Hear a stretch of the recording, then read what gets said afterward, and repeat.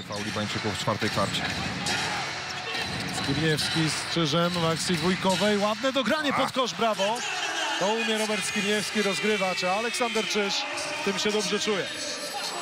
Tak jest, znakomite zagranie. Tak jak powiedziałeś, e, Skiba popularny e, takich podań w swojej karierze pewnie nie